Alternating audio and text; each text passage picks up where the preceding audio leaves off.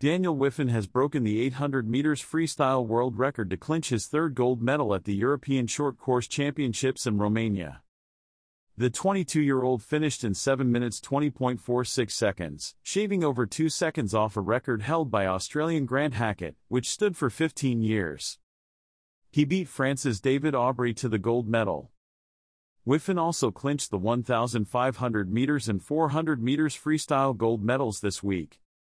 It's amazing. I had so many people texting me saying I was going to break the world record, he told BBC Sport.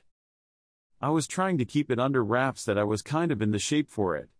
This morning I felt horrible as well, which is kind of weird. It clearly proves that feeling doesn't really have anything to do with it. In the final day of action in Bucharest, the County Armagh native finished almost 10 seconds ahead of second placed Aubry in 7 minutes 30.32 seconds and Ukraine's Mykhailo Romanchuk in third. Sunday's win caps a fine end to a remarkable week for Wiffen, who became the first Irish swimmer to win a gold medal at a European Short Course Championships with his victory in the 400 meters freestyle on Tuesday.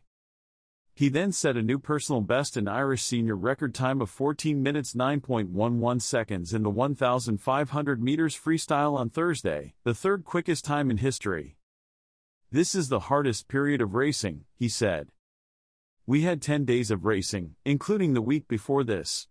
I've done four 1,500 meters, three 800 meters, and two 400 meters. To finish it off in that style just proves my fitness at the moment.